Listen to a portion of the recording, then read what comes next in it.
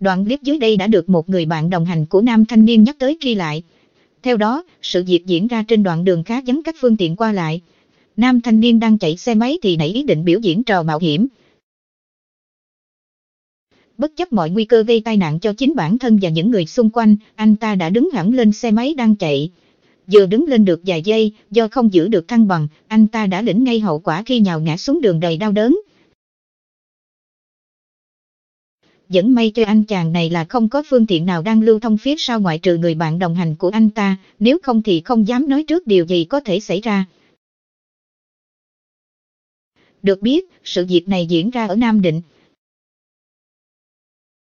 Phía nhà trường cho biết, các nội dung của nhóm học sinh nói xấu thầy cô, nhà trường như nói tục tiểu, xúc phạm giáo viên, dò đốt trường, đốt sổ đầu bài, ném mắm tôm vào nhà cô chủ nhiệm được lan truyền cho nhiều học sinh trong lớp, trường biết